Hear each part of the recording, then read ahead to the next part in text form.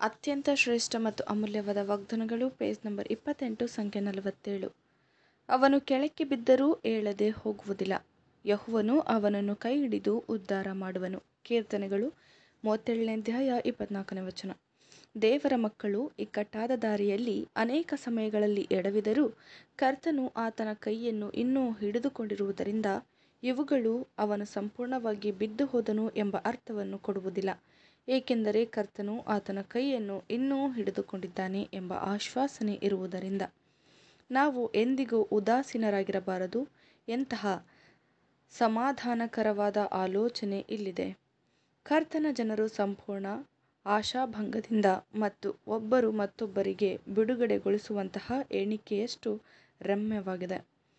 ಮನಸ್ಸಿನಲ್ಲಿರಬೇಕಾದ ಅತಿ ಮುಖ್ಯವಾದ ಆಲೋಚನೆ ಏನೆಂದರೆ, ನಾನು ಇನ್ನೂ ನಿಜವಾಗಿಯೂ ಕರ್ತನವನೇ, ನಾನು ಇನ್ನೂ ಆತನ ಪರಿಶುದ್ಧ ರಕ್ತದಲ್ಲಿ ಭರವಸೆಯಿಂದಿದ್ದೇನಾ ನಾನು ಇನ್ನೂ ಕರ್ತನಿಗಾಗಿ ಮತ್ತು ಆತನ ನೀತಿವಂತ ಮಾರ್ಗಗಳಿಗೆ ಸಮರ್ಪಿಸಿಕೊಂಡಿದ್ದೇನೆಯೋ? ಇವುಗಳನ್ನು ನಿಶ್ಚಯವಾಗಿ ಉತ್ತರಿಸಿದ್ದಲ್ಲಿ ನಾವು ಇನ್ನೂ ದೇವರ ಮಕ್ಕಳು ಮತ್ತು ನಮ್ಮ ಕೈಗಳು ಆತನಲ್ಲಿವೆ.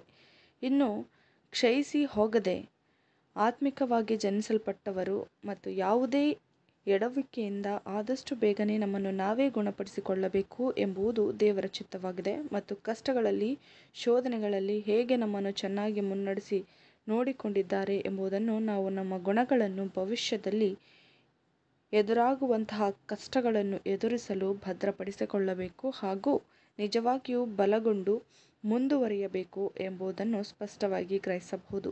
ಆಮೇನ್.